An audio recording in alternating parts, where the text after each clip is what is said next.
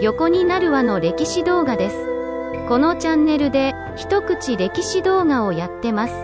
これは歴史ネタをなるべく一口な歴史動画にする企画です。今回は室町期において足利家の外石となった藤原北家真夏流日の家を取り扱います。今回も音読さんの誤読や文字化けで見づらい動画になるかもしれませんが、よろしくお願いいたします。それではどうぞ。皆さんは日野家という名家をご存知ですか？日野家は平安時代の貴族、藤原真夏を祖とします。真夏は藤原氏の中でも北家と呼ばれる一番勢力があったグループで、藤原道長もこの一門に入ります。真夏は平成天皇に禁じし、この中城に出世しましたが、大道5年、上皇となった平城上皇によるクーデター未遂事件薬師の変に連座し、一時備中に流されたものの、最終的には小坂部京に復帰しました。真夏の三男は魔王より七代の地、助成が山城国宇治郡日野の崩壊時に薬師道を建立し、1050年頃より日野三味を名乗るようになり、これ以降日野が加盟となります。真夏流にはこの後日野家以外にも広橋烏丸浦松と分家が生まれました。公家には家の道という専業を持っているのですが、日野家は儒学文筆家を家業とし多くの日記や記録を残します。また一族の日野夕飯の子が仏門に入り、親鸞と名乗り浄土真宗を起こし、日野家と浄土真宗は深いつながりがあります。価格は名家という大納言まで叙任できる家で、日野家の当主は大学の神から弁官を経て中大納言まで務めるのが通例となります。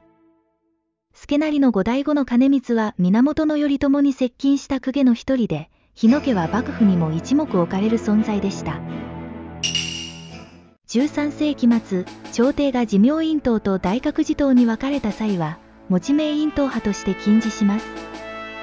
文法2年大覚寺党の後醍醐天皇の即位は日野家にも影響を与えます。天皇は反幕府の立場をあらわにし、幕府に捕まりますが、兼光の子孫である助友や所流の利元は後醍醐天皇のカリスマに惹かれ、共に倒幕を目論み、幕府に捕まり、処刑されました。倒幕後、日野家は両派に分かれ持ち名院派は後醍醐天皇暗殺に失敗し衰退。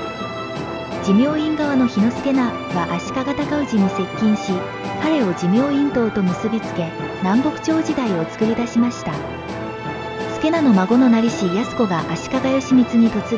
日野家は囲碁み台所を出すことになります。義満死後、4代義持と6代義則は日野家が足利家に影響を及ぼすのを嫌い、当主の有光は一族神台所にいるにもかかわらず、義則に所領を奪われた上、当主を広橋氏に交代させられます。失意の有光は義則死後の柿地3年に江南町の残党と御所を襲いますが結局廃止し日野着流は断絶しました。日野家の家督は浦松勝光が次足利家との関係も回復し八代将軍義政に嫁いだのが勝光の妹富子です。彼女は三大悪女と言われます。その生涯を簡単に追ってみましょう。富子は16歳で御台所になりますが、幼少より気の強い彼女には義政の傍らにいた乳母の今参りの局は目の上のコブでした。女の敵は女です。富子は男子を産みますが、この男子はすぐに亡くなってしまいます。しかし富子はおばしげこと図り、今参りの局が子を呪ったと残言し、局を追放、謀殺します。どこかで見た話です。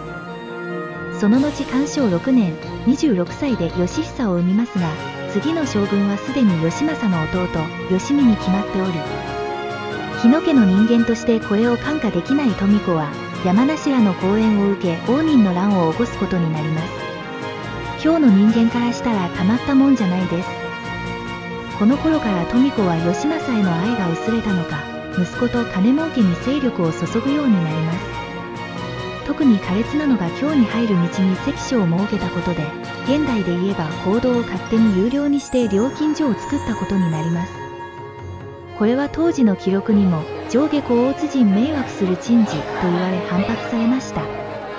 この金を各地に氷で貸して、さらに在宅で貯めた金銭は、七珍万法と言われ、朝廷への支援や、夫の芸術趣味であえぐ幕府の財政に充てられたようですが、よくは分かっていません。彼女の気の強さと金への執着が悪女としての評価となったと思われます。富子の勢力が増すと同時に、兄の勝光も栄えていき、異例の左大臣まで出世し、陰執権を兼ね、朝廷の実権を握り、その様はかつての藤原家を彷彿とさせたそうです。義久は将軍になったものの長教3年、25歳で亡くなり、富子は義澄を後継に死没します。富子の死後、日野家はどうなったのでしょう。足利家と共に栄えた日野家はその後の命運も共にし、関連細川氏の紛争に関わり当主内光が戦し、孫の春助の代で再び断絶します。孔子をめぐって足利義輝と三好長慶の争いの結果、義輝に押された広橋照助が日野家を継ぎました。照助は信長、家康と関係を持ち日野家を江戸時代へとつなげ、戦国の功力を受けます。近世、近代を乗り越え日野家は続きますが今回はここまでとさせていただきます。いかがでしたでしょうか？話題の種にしていただけるとありがたいです。今後もこのような一口動画を作りたいと思います。よろしければ何か残していただけるとありがたいです。ご視聴ありがとうございました。